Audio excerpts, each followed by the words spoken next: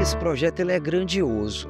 Esse projeto, depois que a gente se envolve com ele, a gente se encanta com ele.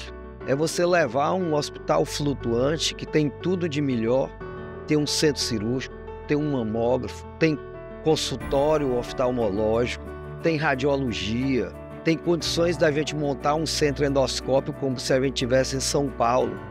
E esse barco pode navegar por toda a Amazônia, levando atendimento e atenção a lugares inimagináveis. Então, quando a gente conhece, quando a gente entra nesse barco, a gente se envolve com um sentimento de carinho, de pertencimento, que a gente tem que dizer às pessoas que é um projeto extremamente sério, um projeto que precisa de apoio, que o Brasil precisa conhecer.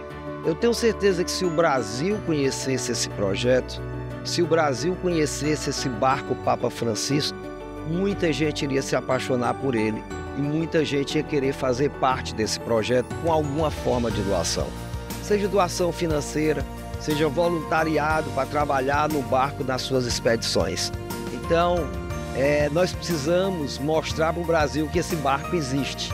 E nós precisamos mostrar a seriedade, a grandeza e, fundamentalmente, o gesto de amor que seria apoiar esse barco. Faça sua doação e esteja conosco a serviço da vida.